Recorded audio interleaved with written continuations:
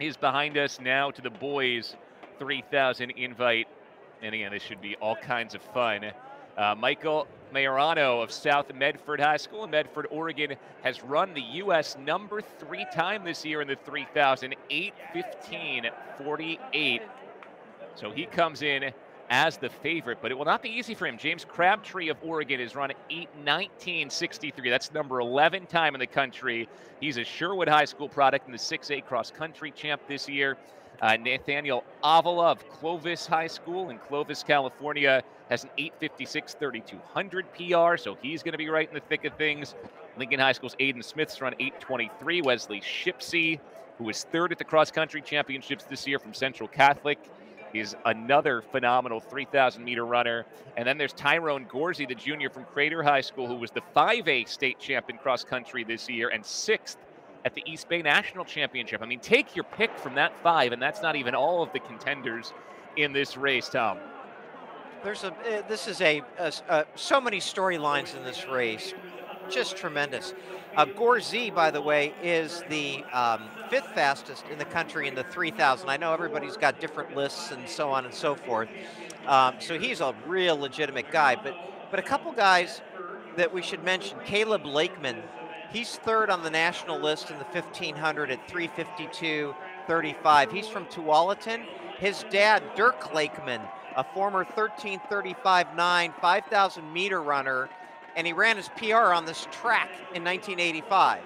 Uh, and then another guy that, that's interesting is Jacob Nenow, uh, a junior from Jesuit. His dad, Mark Nenow, was the American record holder at the 10,000 meters and is now president of the Sorel brand at Columbia uh, Clothing Company.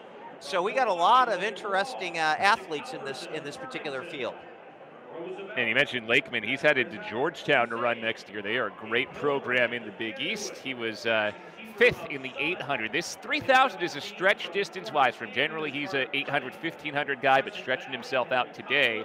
Right now, it is Avila Clovis out in front in that yellow. Nathaniel Avila, again, 856 in the 3200 this year. He was fourth in the 1600, third in the 3200 at the uh, Central Section meet in California last year. He has the lead. Majorano running right behind him. And then tucked inside of Majorano is Isaac Halverson of Farmington. And then James Crabtree of Sherwood's comfortably positioned, as is Tyrone Gorze. And this is a good opportunity for Gorze. Again, Crater competes at the 5A level. So though Gorze is as fast as all these 6A guys is up against here, he doesn't get to race against them for state championships or in the cross country state championship. So for him, these are his opportunities, big meets like this, to run against the big school guys and compare head to head. I like Gorze in this race. I think he's got a real chance to win this thing. Um, I think, it, by the way, 213 through 800 meters. I think Gorze is going to be a major factor in this race. And is a tough kid. Um, I've seen him run a couple times, and he is a real, he is a workhorse. He's a tough kid. He's the guy leading, and um, he's fun to watch. He's headed to Gonzaga next year, and we're about to see a whole lot of Gonzaga distance running talent coming up in these college invite races. Uh, Majorano again 8:15:48 this year. He was sixth in the 3200 at the Arcadia Invitational. He's out in front. Lincoln's Aiden Smith up in the mix. Smith is running at Oregon next year. He will run for the Ducks. He was uh, seventh last year in the 3000 at the uh, 6A state championships and seventh at cross country nationals this year. And you mentioned Majorano's um, uh, finish at the Arcadia meet. And keep in mind that Arcadia is like a national championship when it comes oh, yeah. to the 3200. They get like 20 guys to break nine minutes in that race. That last lap was 62-1, by the way, 315 through 1200 meters, so they picked it up a little bit there.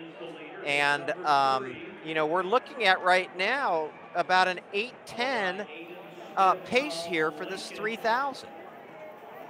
810 would be good for a third fastest in the country this year. The uh, leader is Colin Sahlman, 806.99, one of those uh, Newbury Park guys you were talking about in the uh, studio show. Uh, uh he and Lex Young, also out of Newbury Park, 807. Uh, the top eight times in the 3000 all actually come from that 3200 in Arcadia, like you were talking about. They took the 3000 time on the way through, and all those guys clocked in ahead of guys running just straight up 3000s this year. It's just amazing. And, you know, it's a discussion worth having how much the, uh, the, the new footwear and everything like that is affecting uh, the, you know, middle and long distance uh, performances. But, man alive, I'll tell you, the, the, the times are just crazy. Hey, for the first time, here comes. Oh, sorry. Uh, Bill, so 427 at um, 1,600 meters. 427. All right, so good start to this one, 427 through 1600. And I was going to say uh, that for the first time, your guy Tyson Tyrone Gorze is starting to show his face. Gorze has moved up into that second spot with the flowing locks and the big crater C, just behind Sherwood's James Crabtree, and now Mayorano coming right back up to the front. So the uh, cream of Oregon distance running is rising to the top right here as Mayorano moves back into the lead along the rail inside of three laps to go. They just went 66 seconds on the last lap. Each of the last four laps have been between 66 and 67 seconds.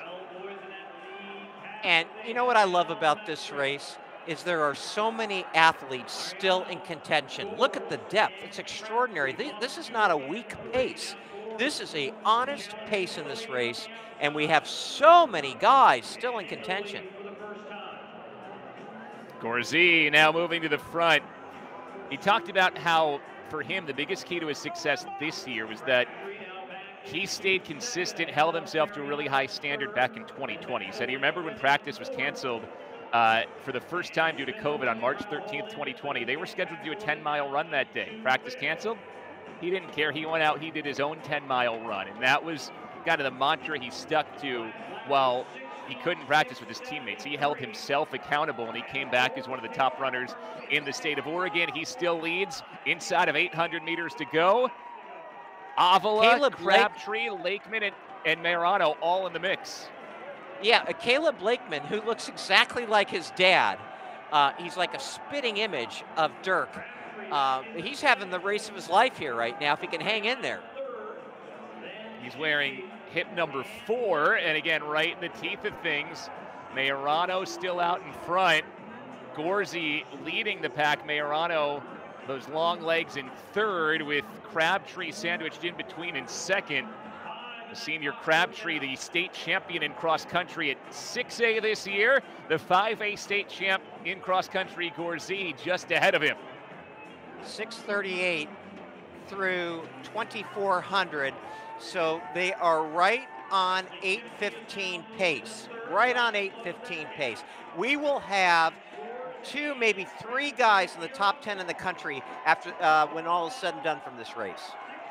It's Gorze, Crabtree, and then how about Wesley Shipsey of Central Catholic moving up into third? Third at the cross country state championship this year. Shipsey, known more for the 800 and 1500, but he is in this race trying to keep contact with Crabtree and Gorze. And no matter what Gorze has done here, he hasn't been able to shake Crabtree yet. And it's Crabtree in great positioning with about 200 meters to go. Amen. And he has leg speed. And look at Lakeman. Lakeman just moved in front there. And look at here comes Lakeman. Lakeman all the way up and moving hard. Caleb Lakeman. He's known for his 800 and 1500 speed. The Georgetown bound senior from Tualatin has moved past the top two.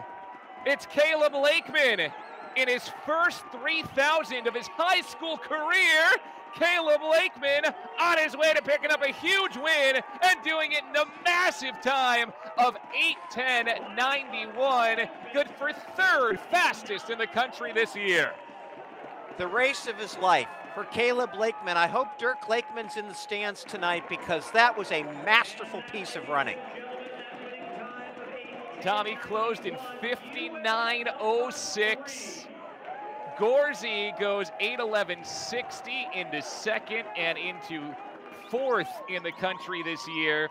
Crabtree 8.11.83, fifth in the country this year. Aiden Smith 8.14.56, sixth in the country this year. So the third, fourth, fifth, and sixth fastest times. Adnei Arano's time of 8:14.91, the seventh fastest in the country this year, and Shipsy 8:15.72, the eighth fastest in the country this year. All right, we got Arcadia for 3,200. How about this one for 3,000? Oregon Relays now the mecca of the 3,000. How about the confidence Caleb Lakeman had in his kick? The confidence to wait and then go. That was impressive as heck. And great depth. Hey, I got one other impressive. Here.